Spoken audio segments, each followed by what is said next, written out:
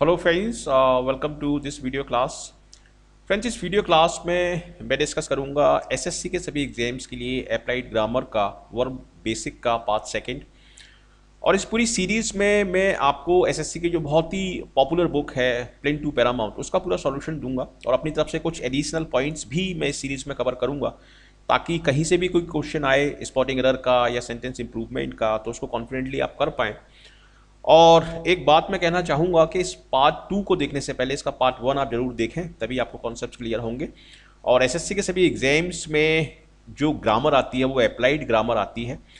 Grammar का application part आपको आपको सीखना है ग्रामर को रटना नहीं है। अंडरस्टैंडिंग बेस्ड ग्रामर को आपको समझना है और कॉमन सेंस अप्रोच को आपको अपनाना है। तो इस तरीके से यदि आप तैयारी करेंगे तो डेफिनेटली आप हाई स्कोर कर पाएँगे। तो चलिए देखते हैं, देखिए ये सेकंड पार्ट है, इसमें मे माइट एंड मस्ट इनको हम समझेंगे और इनको किस तरीके से हम ग्रामर में यूज़ करते हैं किस तरीके से अलग अलग यूजेज इसके होते हैं, इसको हम देखेंगे। अब देखिए मे एंड माइट इन दोनों में क्या डिफरेंस है? एक सिंपल डिफरेंस तो ये है कि मे प्रेजेंट टेंस में यूज़ होता है और माइट इसका पास्ट इक्विवेलेंट है, वो पास्ट टेंस में यूज़ होता है। तो जब भी अब, जब भी आप पास्ट टेंस की बात करेंगे तो उसमें मे यूज़ नहीं होगा माइट यूज़ होगा। एक तो आपको ये समझना है और इससे रिलेटेड मे और माइट से रिलेटेड जितने भी पॉइंट्स हैं, मैं आपको सारा बताऊँगा तो इसको आप ध्यान से देखिए। टू एक्सप्रेस फ्यूचर पॉसिबिलिटी देखिए मे एक्चुअली पॉसिबिलिटी के लिए इसको आप बोल रहे हैं यहाँ पर कि पॉसिबिलिटी लिखा हुआ है, लेकिन प्रोबेबिलिटी एक वर्ड होता है इंग्लिश में। प्रोबेबिलिटी मतलब जिसकी संभावना कम हो पॉसिबिलिटी मतलब जिसकी, जिसके होने की पूरी संभावना हो। प्रोबेबिलिटी मतलब बहुत कम संभावना हो। तो यहीं पर डिफरेंस आता है कैन में और मे में। कैन एक्चुअली हम यूज़ करते हैं पॉसिबिलिटी के लिए, जहाँ पर आपको यहाँ पर किसी काम का होना लगभग तय है। मे का मतलब होता है कि ऐसा हो भी सकता है और नहीं भी हो सकता। और माइट से भी हम पॉसिबिलिटी बताते हैं, लेकिन माइट का अर्थ होता है कि बहुत ही कम पॉसिबिलिटी तो ये आपको कॉन्टेक्स्ट देखना होगा, ठीक है, कि कहाँ पर आपको कैन लगाना है, कहाँ पर मे लगाना है और कहाँ पर आपको माइट लगाना है। हालाँकि माइट को हम स्पोकन इंग्लिश में ज़्यादा कॉमनली यूज़ करते हैं। अब देखिए, कुछ एग्ज़ाम्पल सेंटेंसेस हैं यहाँ पर, इनको आप देखिए। इट माइट रेन लेटर अब यहाँ पर माइट लगा हुआ है, इसके स्थान पर आप मे भी लगा सकते हैं। हालाँकि हालाँकि माइट को हम वीक पॉसिबिलिटी के लिए लगाते हैं तो लेकिन मे के स्थान पर आप माइट भी लगा सकते हैं। इट माइट गो अब इसमें एक चीज़ आप देखिए कि माइट के बाद, यहाँ पर देखिए, ये वर्ब की जो फॉर्म है, ये फ़र्स्ट फॉर्म आएगी। अब एग्जामिनर क्या करेगा कि इस माइट में रेन के साथ यहाँ पर रेंस कर देगा। जबकि सभी मॉडल वर्ब्स हैं may might can could should इन सभी के साथ वर्ब की फ़र्स्ट फॉर्म हम लगाते हैं, ठीक है? आई माइट गो ये भी सही है। और देखिए, यहाँ पर देखिए I wouldn't talk to Alex right now मैं अलेक्स से भी बात नहीं करूँगा। He may still be upset मतलब वो हो सकता है कि वो अपसेट हो। आफ्टर इज़ टीम लॉस्ट जब से उसकी टीम हारी है, वो हो सकता है कि वो अपसेट हो तो यहाँ पर एक प्रोबेबिलिटी हम बता रहे हैं, ठीक है? यहाँ पर हम एक प्रोबेबिलिटी बता रहे हैं तो इसलिए हमने मे बी का प्रयोग किया है। मे ना प्रयोग करके मे बी क्योंकि हम यहाँ पर होना बता रहे हैं कि वो हो सकता है मे बी और मे के साथ हम फ़र्स्ट फॉर्म लगाते हैं। अब देखो she might be late because of the public transport public transport एक रीज़न हो सकता है, लेकिन इसकी पॉसिबिलिटी बहुत ही कम है कि वो किसी और रीज़न से भी लेट हो सकती है तो इसलिए यहाँ पर ये माइट का प्रयोग किया है। तो ये आपको कॉन्टेक्स्ट देखना पड़ेगा। अब देखिए, नीचे लिखा हुआ है might is use more frequently than may in spoken English बिल्कुल सही कि स्पोकन इंग्लिश में हम माइट का यूज़ ज़्यादा करते हैं। तो ये सरल है, इनको समझना कोई इतना इतना कठिन नहीं है कि कैन क्या होता है मे क्या होता है, और माइट क्या होता है। देखिए परमिशन के लिए भी हम मे और कैन का यूज़ करते हैं, लेकिन कैन जो होता है, वो इनफॉर्मल होता है मे जो होता है, वो फॉर्मल होता है। ठीक है? यानी कैन को आप अपने फ्रेंड्स के साथ यूज़ करेंगे और मे को आप ऑफिशियल सिचुएशन में यूज़ करेंगे। तो ये आपको समझना है। परमिशन का देखिए, यहाँ पर है, यहाँ पर आप देख सकते हैं। और इसमें जितने भी इम्पोर्टेंट इम्पोर्टेंट पार्ट्स होंगे, उसको मैंने अलग से एक इम्पोर्टेंट सेक्शन में आपको समझाया है। वो अभी आगे आएगा तो पूरा वीडियो क्लास आप देखिए। और इसमें जितने भी एग्ज़ाम्पल सेंटेंसेस जो प्रिंट टू पैरामाउंट बुक में दिए हैं, वो सारे मैं प्रैक्टिस कराऊँगा प्लस अपनी तरफ़ से कुछ एडिशनल सेंटेंसेस भी मैं आपको प्रैक्टिस कराऊँगा। देखिए you may leave the table once you have finished your meal एक बार आपने खाना अपना समाप्त कर लिया है तो उसके बाद आप टेबल को छोड़ सकते हैं, वहाँ से जा सकते हैं। तो इस तरीके से मे थोड़ा सा पोलाइट माना जाता है, इसलिए यहाँ पर ये हम मे यूज़ कर रहे हैं। कैन हम यूज़ करते हैं इनफॉर्मल सिचुएशंस में, अपने फ्रेंड्स के साथ और अपने दोस्तों के साथ। और मे नॉट भी आप बोल सकते हैं। नेगेटिव यदि परमिशन किसी को कुछ करने से आप रोक रहे हैं तो आप मे नॉट बोल सकते हैं। लेकिन यहाँ पर भी वर्ब की फ़र्स्ट फॉर्म आएगी। इसको आप ध्यान से सुनिए, क्योंकि एग्जामिनर यहाँ पर इस तरह के सेंटेंसेस देते हैं कि यहाँ पर मे नॉट के साथ इसमें पार्क में एस लग जाएगा, जो गलत होगा। ठीक है, यहाँ पर मे नॉट के बाद टेक में एस लगा देंगे, जो कि गलत होगा। तो कभी कभी काफ़ी लंबे लंबे सेंटेंसेस दिए जाते हैं, जिसमें एकदम से पता नहीं पड़ता है। अभी तो मैं आपको एक्सप्लेन कर रहा हूँ तो आपको ये सारी चीज़ें समझ में आ रही होंगी। ठीक है? चलिए, आगे कुछ सेंटेंसेस देखते हैं। To ask for permission permission देना और परमिशन मांगना। आस्क फॉर का मतलब है कि परमिशन मांगना। तो उसमें भी हम मे का यूज़ करते हैं। May I sit next to you ये ऑफिशियल सिचुएशन है। ठीक है? May I borrow your pen जैसे जैसे किसी, अपने बॉस से आप पेन पेन मांग रहे हैं तो आप मे लगा सकते हैं, लेकिन अपने फ्रेंड से आप पेन मांग रहे हैं तो कैन आप लगा सकते हैं। ठीक है? तो ये तो सरल है। अब देखिए can is use more frequently than may in spoken English definitely can का हम यूज़ ज़्यादा करते हैं स्पोकन इंग्लिश में, क्योंकि जब हम इंग्लिश बोलते हैं तो वो इनफॉर्मल सिचुएशन होती है। मे को हम पोलाइट थोड़ा सा मानते हैं, थोड़ा सा फॉर्मल होता है।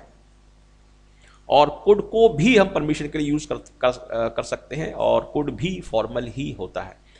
अब देखिए ये इंपॉर्टेंट है। यहाँ पर ये लिखा हुआ है इंपॉर्टेंट यानी ये काफ़ी एग्ज़ाम के लिए काफ़ी इंपॉर्टेंट है। माइट जो है वो पास्ट इक्विवेलेंट है किसका? मे का। यदि सेंटेंस पास्ट में है तो वहाँ पर आपको मे नहीं लगाना है वहाँ पर आपको पास्ट लगाना है। देखिए looking at the clouds he said it may rain the next day मतलब बादलों की तरफ़ उसने देखा, बादलों की तरफ़ देखते हुए उसने कहा कि कल बारिश हो सकती है। अब ही सैड देखिए, ये पास्ट टेंस में है ही सैड तो इसलिए यहाँ पर ये मे का प्रयोग गलत है। मे का पास्ट इक्विवेलेंट क्या होता है? माइट इसलिए नीचे वाला जो ग्रीन कलर में जो सेंटेंस दिया है, वो आपका सही है। इस पूरे वीडियो क्लास में गलत सेंटेंसेस जो हैं इनकरेक्ट उनको मैंने रेड कलर में लिखा है और सही सेंटेंसेस को मैंने ग्रीन कलर में लिखा है। तो ये भी एक बहुत इंपॉर्टेंट पॉइंट है। और यहाँ पर देखिए एक ये भी बहुत इंपॉर्टेंट पॉइंट है। We eat so that we can live ये सेंटेंस गलत है। गलत क्यों है? क्योंकि देखिए इसमें दो पार्ट हैं इस सेंटेंस में। एक ये पार्ट है और एक ये पार्ट है। ठीक है? तो ये है मेन पार्ट इसको इसको ग्रामर की लैंग्वेज से प्रिंसिपल क्लॉज बोलते हैं। लेकिन इनसे आपको डरने की ज़रूरत नहीं है, ये बहुत सिंपल चीज़ें होती हैं। वी ईट ये तो एक मेन सेंटेंस हो गया। और so that we can live ये हो गया। ये वाला जो पाथ है so that we can live ये इस वाले पाथ पे डिपेंडेंट है। इसको आप इंडिपेंडेंटली नहीं बोल सकते। इसलिए इसको हम बोलते हैं डिपेंडेंट क्लॉज ये है वी ईट जो है, ये प्रिंसिपल क्लॉज है। So that we can live ये इंडिपेंडेंट क्लॉज है। तो जब हम पर्पज़ की बात करते हैं, इन दोनों क्लॉजों को जोड़ते हैं, इन दोनों क्लॉजेस को जोड़ते हैं और इन दोनों क्लॉजेस के बीच में सो दैट दैट या इन ऑर्डर दैट आता है। तो इसमें हम हमेशा मे का प्रयोग करते हैं कैन का नहीं। देखिए, ये देखने में काफ़ी सिंपल सा सेंटेंस लग रहा है, लेकिन जब एग्ज़ाम में आएगा तो अक्सर स्टूडेंट्स इस तरह की गलतियों में या इस तरह के सेंटेंसेस में गड़बड़ा जाते हैं। तो इसका सही सेंटेंस क्या होगा? We eat so that we may live we can live नहीं वी मे लिव ये ग्रामर का रूल है, इसको आप अच्छे तरीके से समझिए। और यही सेंटेंस यदि थोड़ा सा लेंदी है और तीन चार लाइन का सेंटेंस सेंटेंस है तो उसमें डेफिनेटली स्टूडेंट गलती कर सकते हैं। देखिए, यहाँ पर एक ये बात भी बहुत इंपॉर्टेंट है कि मे का यूज़ हम विशेष किसी को हम विश करते हैं कि भगवान करे, आप खुश रहें, भगवान करे, आपको सफलता मिले तो उसमें हम मे को ही यूज़ करते हैं। मे के अलावा किसी और दूसरे मॉडल वर्ब को हम यूज़ नहीं करते।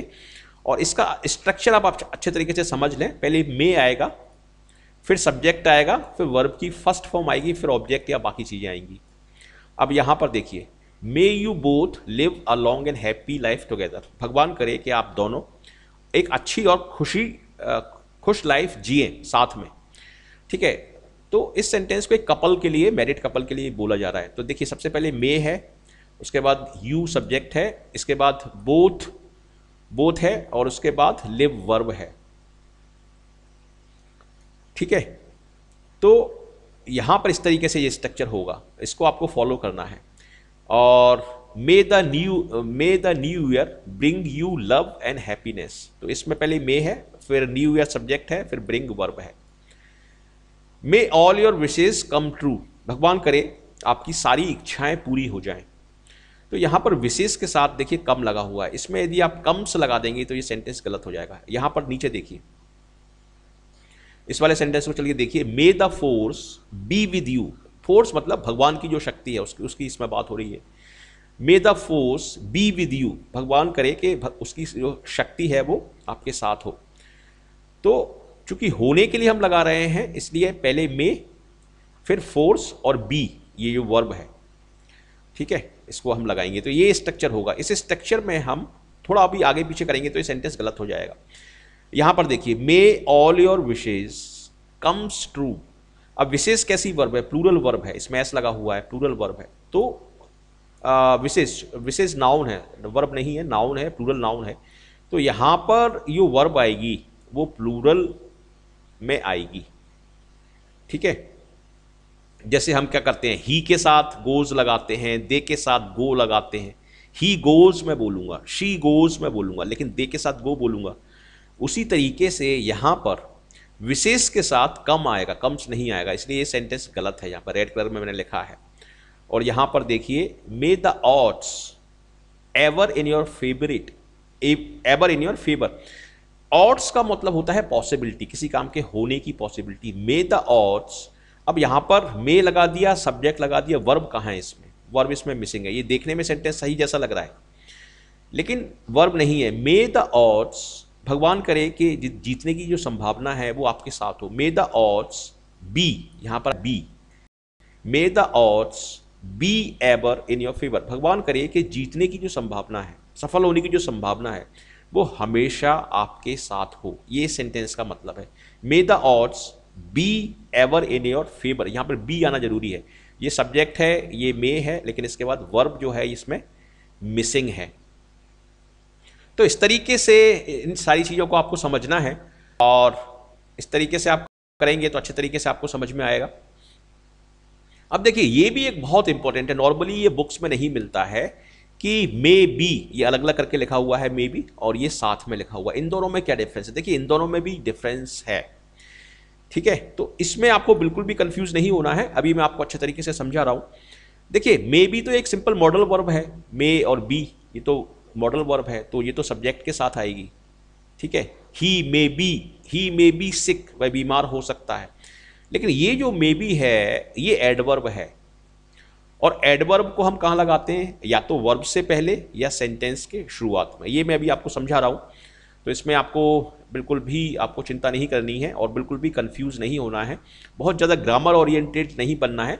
देखिए मे बी मे बी का मतलब होता है परहैप्स और ये एक एडवर्ब होता है जब ये आपस में मिले हुए रहते हैं। देखिए एडवर्ब का जो एंड होता है, वो आखिरी में क्या होता है? एल बाई लगा रहता है उसमें। इसलिए मे बी को आप पर से या पॉसिबिली से या या पोटेंशियली से रिप्लेस कर सकते हैं। क्योंकि मे बी एक एडवर्ब है। अभी आपको अच्छे तरीके से समझ में आ जाएगा। देखिए मे बी क्या होता है? एक मॉडल वर्ब है। इसका मतलब होता है सिंपल पॉसिबिली अब इसमें एक चीज़ समझिए। देखिए, अब आपको ये समझ में नहीं आ रहा होगा कि पता कैसे पड़ेगा कि कहाँ पर कौन सा वर्ड सही है या कहाँ पर कौन सा वर्ड लगाना है। देखिए, ये जो मे बी है, इसको यदि आप परहैप्स से रिप्लेस कर सकते हैं तो मे बी आप लगा सकते हैं, वो सही है। और इस मे बी को, ये वाला मे बी इसको आप माइट बी से रिप्लेस कर सकते हैं तो ये सही है। यानी ये मे बी परहैप्स से रिप्लेस हो जाएगा और ये मे बी माइट बी से रिप्लेस हो जाएगा। यदि रिप्लेस हो जाता है तो सेंटेंस सही है अदरवाइज़ गलत है। सिंपल सा ट्रिक है। देखिए, यहाँ पर मैंने बताया है कि मे बी जो लगा हुआ, जो जुड़ा हुआ रहता है मे बी जो है वो एडवर्ब है। दैट मीन्स परहैप्स ठीक है? पॉसिबिली या पोटेंशियली एडवर्ब में आखिरी में क्या होता है? एडवर्ब में आखिरी में एल वाई आता है। ड्रामेटिकली ठीक है? रैपिडली ये सारे एडवर्ब हैं। तो इसलिए इसको, ये एडवर्ब माना जाता है मे बी ये सेंटेंस में या तो शुरुआत में आएगा या वर्ब से पहले इसको आप लगा सकते हैं। लेकिन जो मे बी है अलग अलग वाला मे बी वो सब्जेक्ट के बाद आता है मॉडल वर्ब की तरह। अब देखिए may be it will stop raining soon अब यदि आप यहाँ पर देखें कि it will stop raining soon मतलब पानी बरसना जल्दी से समाप्त हो जाएगा। लेकिन यहाँ पर आपने बोल दिया मे बी हो भी सकता है, नहीं भी हो सकता। तो ये किससे रिलेटेड है मे बी मे बी ये विल स्टॉप से रिलेटेड है, यानी ये वर्ब को मॉडिफाई कर रहा है, इसलिए ये एडवर्ब है। ठीक है, अब देखिए, यहाँ पर देखिए I thought Suzy would be here by now तो दूसरा व्यक्ति बोलता है मे बी शी फॉरगॉट तो यहाँ पर शी फॉरगॉट फॉरगॉट मतलब वर्ब वर्ब के साथ ये मे बी लगा है तो यहाँ पर भी ये एडवर्ब है। तो ये वाला जो मे बी है, ये सेंटेंस के शुरुआत में या वर्ब से पहले वर्ब को मॉडिफाई करता है, ये इसलिए एडवर्ब है। और मे बी जो अलग अलग है, वो तो सिंपल एडवर्ब है, वो तो सिंपल मॉडल वर्ब है, जैसे दूसरी मॉडल वर्ब से यूज़ होती हैं। यहाँ पर देखिए may is a modal verb which indicate possibility he may be lost यहाँ पे आप इस मे बी को माइट बी से रिप्लेस भी कर सकते ही। माइट बी लॉस्ट मतलब वो हो सकता है वो खो गया हो। पॉसिबिलिटी के लिए बोल रहे हैं this may be the best website तो यहाँ पर तो सिंपल आप सिंपल ये मॉडल वर्ब है सब्जेक्ट है, ये ये सब्जेक्ट है, ये वर्ब है और ये ये एडजेक्टिव है। ठीक है दिस मे बी सब्जेक्ट के बाद आएगा ये सिंपल और ये जो मे बी है, जो जुड़ा हुआ रहता है, वो वर्ब से पहले या सेंटेंस के शुरुआत में आएगा। अब इसी और समझिए।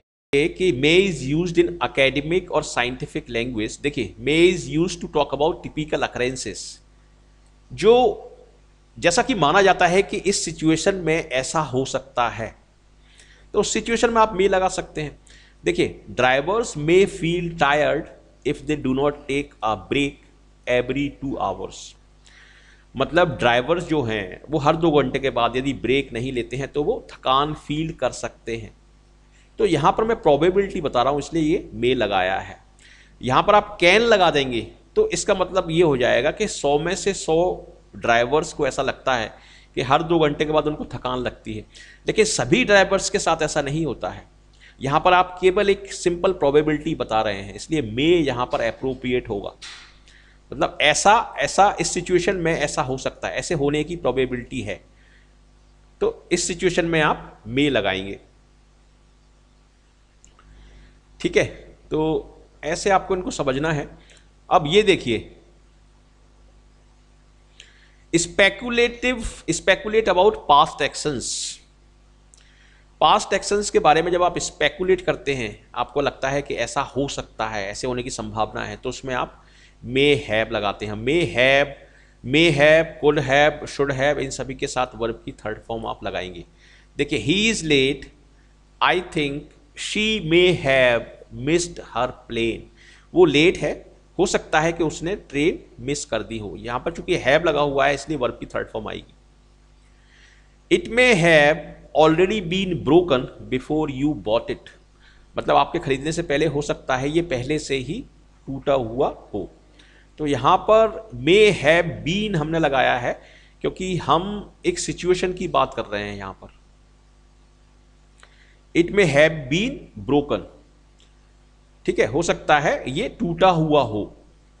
तो ब्रोकन क्या है? इस ब्रोकन किसी किसी चीज़ की सिचुएशन बता रहा है कि वो टूटा हुआ है एडजेक्टिव है। ऐसा हो सकता है, ऐसा होना बता रहा है। टूटा हुआ हो सकता है। तो इसलिए हैप के साथ यहाँ पर बीन लगाया है हमने।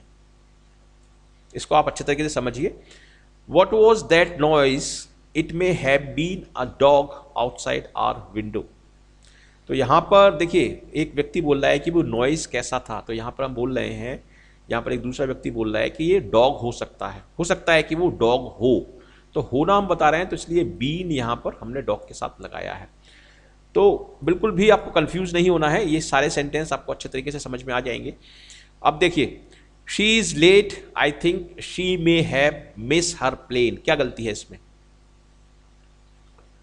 इसमें देखिए, हैप के साथ या वर्ब की थर्ड फॉर्म आनी चाहिए। थर्ड फॉर्म नहीं लगाई फ़र्स्ट फॉर्म लगाई, इसलिए ये गलत हो गया। यहाँ पर देखिए it may have already been broken before you buy it before you bought it होना चाहिए, क्योंकि पास्ट टेंस की इसमें बात हो रही है। आपके खरीदने से पहले ही ये टूटा हुआ हो सकता है। देखने में ये सेंटेंस सही लग रहा है, लेकिन यहाँ पर बाय के स्थान पर इसमें बॉट आएगा। What was the noise it may have been dog अब डॉग काउंटेबल है तो यहाँ पर क्या लगाएँगे हम? ए लगाएँगे a it it may have been a dog outside the window तो इस तरीके से ये सेंटेंसेस हम करते हैं।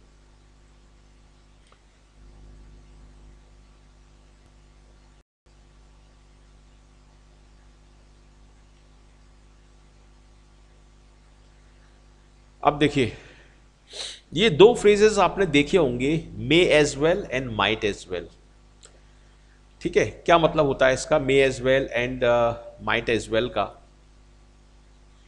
तो ये भी एग्ज़ाम में पूछे जाते हैं may as well and might as well देखिए, इन एक्सप्रेशंस का हम कम, कब यूज़ करते हैं, ये मैंने यहाँ पर लिखा हुआ है, इसको आप देख सकते हैं। These expressions can be use to suggest that you will do something because there is nothing better और more interesting to do suppose आप एक सिचुएशन में बैठे हैं और वहाँ पर आपको लग रहा है कि इससे अच्छा कुछ करने के लिए नहीं है। ठीक है? और इससे इंटरेस्टिंग कुछ करने के लिए नहीं है तो उन सिचुएशंस में इस मे एज वेल और माइट एज वेल को आप यूज़ करते हैं। देखिए ये sentence there is nothing on TV मतलब टीवी पर कुछ भी नहीं आ रहा है। I might as well go to bed और मैं सोने जा सकता हूँ, क्योंकि इससे अच्छा कुछ करने को नहीं है। तो ये इस सेंटेंस का मतलब होता है। देखिए, स्टेडियम में कोई बात कर रहा है, यहाँ पर देखिए our team is losing by 50 points हमारी टीम 50 पॉइंट से लूज कर रही है। We may as well go home because they are not going to win क्योंकि वो जीतेंगे तो है नहीं। तो इसलिए यहाँ बैठने का कोई फ़ायदा नहीं है। तो जब ऐसी सिचुएशंस की बात होती है जिसमें कुछ और करना, कुछ और इंटरेस्टिंग करना अच्छा नहीं है या कुछ करने को नहीं है तो उस सिचुएशन में हम may as well and might as well इनको यूज़ करते हैं और इनके साथ वर्ब की फ़र्स्ट फॉर्म हम लगाते हैं। दोनों एक्सप्रेशन काफ़ी इंपॉर्टेंट हैं कि हम ऐसा कर सकते हैं, क्योंकि हमारे पास कुछ बेटर करने को नहीं है। मस्ट को मस्ट को हम यूज़ करते हैं स्ट्रॉन्ग पॉसिबिलिटी को दिखाने के लिए। जैसे देखिए he stays in five star hotel hotel and travels by flight he must be very rich वह फाइव स्टार होटल्स में रुकता है ट्रेवल्स और फ़्लाइट से जाता है, इसका मतलब क्या है? वो ज़रूर वो बहुत रिच होगा। तो he must be very rich यहाँ पर आप मस्ट बी के स्थान पर यदि मे बी लगाएँगे इस सेंटेंस में तो ये सेंटेंस गलत हो जाएगा। क्योंकि कॉन्टेक्स्ट क्या बोल रहा है? कॉन्टेक्स्ट ये बोल रहा है कि वो फाइव स्टार होटल में रुकता है फ़्लाइट से जाता है तो वो गरीब नहीं हो सकता। ही मस्ट बी वो ज़रूर रिच होगा। तो इस सेंटेंस में चूँकि हम स्ट्रॉन्ग पॉसिबिलिटी बता रहे हैं, इसलिए मस्ट बी के स्थान पर यहाँ पर मे बी या माइट बी जो है वो गलत होगा। अब देखिए he stayed in five star hotels and travelled by flight he ये पास्ट में है। देखिए स्टेड ये पास्ट में है। ट्रेवल्ड ये पास्ट में है। तो मस्ट बी का जो पास्ट होता है, वो होता है must have been must be का जो पास्ट होता है, वो होता है मस्ट हैव बीन यहाँ पर यदि आप मस्ट बी लगाएँगे तो ये सेंटेंस गलत हो जाएगा। ये तो सही है। लेकिन यहाँ पर देखिए यहाँ पर मस्ट हैव बीन आना चाहिए, लेकिन यहाँ पर मस्ट बी लगा दिया है, क्योंकि पास्ट की बात हो रही है, इसलिए ये सेंटेंस है गलत। ये वाला सेंटेंस गलत है। तो आपको कॉन्टेक्स्ट को समझना है रीडिंग बेस्ड ग्रामर को आपको स्ट्रॉन्ग करना है, और कॉमन सेंस अप्रोच को अपनाना है आपको। ये सारी चीज़ें समझना है, और बहुत ज़्यादा ग्रामर के ग्रामर के बारे में बहुत ज़्यादा आपको क्रिटिकल नहीं होना है। अब देखिए, ये एक इंपॉर्टेंट है। ये काफ़ी इंपॉर्टेंट है। माई माई फादर में पॉसिबली नहीं नहीं, इसमें एक सेकेंड अभी मैं बता रहा हूँ। हाँ ये है एक्चुअली सही। देखिए, यहाँ पर क्या लिखा है? Do not use possibly and likely with may and might क्या मतलब है इसका? कि एक सेंटेंस में आप मे भी यूज़ कर रहे हैं, या फिर मे के स्थान पर माइट यूज़ कर रहे हैं, और उसके साथ आप पॉसिबली भी लगा रहे हैं और लाइकली भी लगा रहे हैं। तो ये सुपर फ्लूअस हो जाएगा सेंटेंस क्योंकि मे और माइट के द्वारा हम संभावना बताते हैं और पॉसिबली और लाइकली के द्वारा भी संभावना बताते हैं। तो या तो आप मे यूज़ करिए या फिर पॉसिबली यूज़ करिए। मे पॉसिबली नहीं मतलब ये दोनों साथ में नहीं आएँगे। ये देखिए my father may possibly come tomorrow ये गल, गलत है। यहाँ पर मे भी लगा दिया पॉसिबली भी लगा दिया इसलिए सेंटेंस गलत हो गया। यहाँ पर देखिए my father may come tomorrow या तो ऐसे बोलिए my father will possibly come tomorrow या फिर ऐसे बोलिए। तो ये सेंटेंस सही है, ठीक है? अब देखिए, यहाँ पर मैं आपका रिवीजन करा रहा हूँ और सेंटेंसेस के थ्रू मैं आपको रिवीज रिवाइज कराऊँगा। इसमें जो इससे पहले की वीडियो क्लास है, उसमें मैंने जो जो चीज़ें एक्सप्लेन की हैं, वो सारा आपका रिवाइज हो जाएगा प्लस एग्ज़ाम्पल सेंटेंसेस के थ्रू जब आप रिवाइज करेंगे तो सेंटेंसेस में ये गलतियाँ कैसे पूछी जाती हैं, ये आपको समझ में आएगा, ठीक है? The government can not be able to contain देखिए यहाँ पर ये जो सेंटेंस है, इसमें बी एबल टू भी लगा दिया और कैन नॉट भी लगा दिया। दोनों का मतलब एक ही होता है, दोनों योग्यता को बताते हैं कैपेसिटी को बताते हैं। तो या तो बी एबल टू लगाइए या कैन नॉट लगाइए। तो यहाँ पर चूँकि वर्ब की फ़र्स्ट फॉर्म लगी है और वर्ब की फ़र्स्ट फॉर्म जुड़ती है कैन के साथ कैन नॉट या कैन के साथ तो इसलिए बी एबल टू यहाँ पर नहीं आएगा। यानी बी पार्ट में इसमें गलती है। ये सेंटेंस होगा आपका the government can not contain encephalitis by spending just one percent of GDP on health sector मतलब गवर्नमेंट रोक नहीं सकती इंसेफेलाइटिस बीमारी को कंटेन नहीं कर सकती, यानी रोक नहीं सकती, केवल एक जीडीपी का केवल एक परसेंट हेल्थ सेक्टर पर खर्च करके वो इस भयंकर बीमारी को रोक नहीं सकती। कंटेन का मतलब है उसको रोकना। सेकेंड सेंटेंस देखिए the police think that he may be there yesterday अब यस्टरडे की बात हो रही है। तो मे का पास्ट इक्विवेलेंट आएगा। यस्टरडे चूँकि पास्ट है इसलिए मे का पास्ट इक्विवेलेंट क्या होता है? माइट तो ये गलती है इसमें बी पार्ट में गलती है। अब ये देखिए he may live long he said his sad mother prayed उसकी दुखी मदर ने बोला कि वो उस आ, कि वो भगवान करे कि वो लंबी उम्र जिए। ही मे लिव लॉन्ग क्या ये स्ट्रक्चर सही है? सही स्ट्रक्चर होगा मे ही लिव लॉन्ग यानी ए पार्ट इसमें गलत है। ही return the purse though he could keep it very easily इसमें हम क्या बोल रहे हैं? देखिए कॉन्टेक्स्ट क्या बोल रहा है कि उसने पर्स को रिटर्न कर दिया, लेकिन वो पर्स को रख सकता था। कुड कीप का मतलब हो सकता है कुड कीप का मतलब होता है कि उसने रख, रखा, वो रख सका। लेकिन कुड हैव कैप्ट का मतलब होगा रख सकता था। उसने उस पर्स को वापस कर दिया, लेकिन वो उस पर्स को बहुत आसानी से अपने पास रख सकता था। कुड हैव कैप्ट का सही सेंस निकलेगा। कुड कीप कुड के साथ वर्ब की फ़र्स्ट फॉर्म आती है तो ग्रामेटिकली तो ये सही है। लेकिन कॉन्टेक्स्ट इसका सही नहीं निकल रहा यही होता है कॉन्टेक्स्ट यही आपको समझना है। तो आप बोलेंगे कुड हैव कैप्ट हैव के साथ वर्ब की थर्ड फॉर्म आप लगाएँगे। सेकेंड पार्ट इसमें आपका ये गलत है। अब देखिए कुछ और सेंटेंस इसमें टोटल सेंटेंस के थ्रू आपको revision करवाऊँगा। If you get good marks I shall happy as much as you यदि आपको अच्छे मार्क्स मिलते हैं तो मैं उतना ही खुश होऊँगा जितने आप हैं। तो आई के साथ शेल तो लगा दिया, लेकिन इसमें बी नहीं है। आई शेल मैं खुश होऊँगा। तो होने के लिए भी तो वर्ब चाहिए यहाँ पर आपको। तो शेल लगाते हुए आप यहाँ पर बोलेंगे I shall be happy shall अकेला नहीं आएगा। तो बी पार्ट में इसमें गलती है। ठीक है? ये वाला सेंटेंस देखिए। Are you use to get up early at four a m क्या मतलब है इसका? जब हम, जब एज एम आर के साथ, ये एजेमार इसके साथ हम यूज़ टू का प्रयोग करते हैं तो उसमें यूज़ टू के साथ वर्ब की हम आई एन जी फॉर्म लगाते हैं। ये इससे पहले वाला जो वीडियो क्लास है, उसमें मैंने एक्सप्लेन किया था कि ये जेरेंड फॉर्म क्यों आता है इसमें? आर यू यूज़ टू क्या आप अभ्यस्त हैं? किस चीज़ के अभ्यस्त हैं? वहाँ पर उस चीज़ का नाम आएगा मतलब नाउन आएगी, और नाउन होती है जेरेंड फॉर्म यानी यहाँ पर आई फॉर्म यहाँ पर आपको लगाना पड़ेगा। ठीक है, काफ़ी अच्छा ये सेंटेंस है। ये फ़र्स्ट वीडियो में, इससे पहले का जो प्रीवियस वीडियो है, उसमें मैंने ये यूज़ टू का कॉन्सेप्ट बहुत अच्छे तरीके से बताया है तो उसको आप चाहें तो एक बार और देख सकते हैं। यहाँ पर देखिए our knowledge of history doesn't come to our help and sometimes we even fail to remember who invented America ये एक टिपिकल एसएससी सेंटेंस है। अमेरिका को किसी व्यक्ति ने इन्वेंट नहीं किया है, उसको डिस्कवर किया है, क्योंकि वो पहले से ही एग्जिस्ट करता था। इन्वेंट का मतलब होता है किसी नई चीज़ को ईजाद करना। डिस्कवर का मतलब होता है उसको खोजना। वो पहले से ही वहाँ पर था। तो इन्वेंटेड वर्ड गलत है यहाँ पर। यहाँ पर आएगा डिस्कवर ठीक है?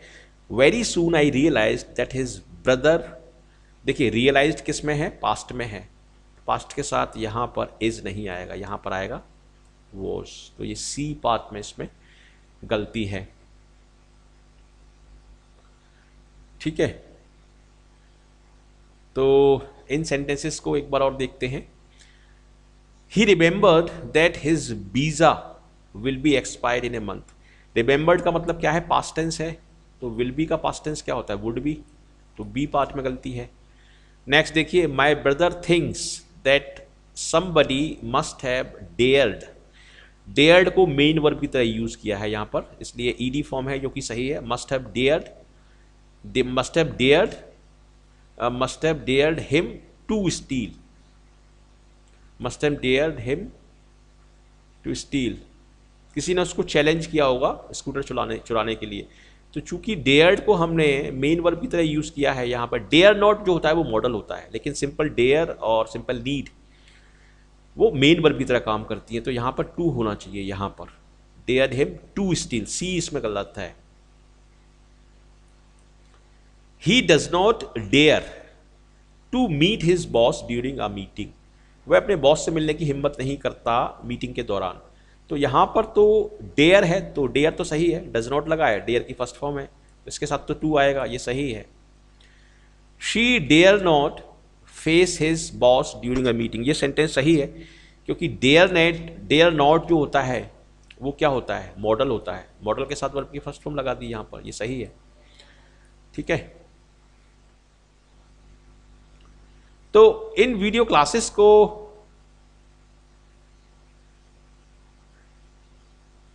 इन वीडियो क्लासेस को कई कई बार आप देखिए, दो या तीन बार देखिए, ये सारे कॉन्सेप्ट्स आपको अच्छे तरीके से याद हो जाएँगे। और इस वीडियो क्लास को देखने से पहले इसका जो पार्ट वन है, उसको आप ज़रूर देखें और डेफिनेटली ये सारे कॉन्सेप्ट क्लियर होंगे और इसके बाद इसका नेक्स्ट नेक्स्ट पार्ट आपको देखना है। ठीक है? तो इस वीडियो क्लास में इतना ही। अब मैं आपसे मिलूँगा नेक्स्ट वीडियो क्लास में। Thank you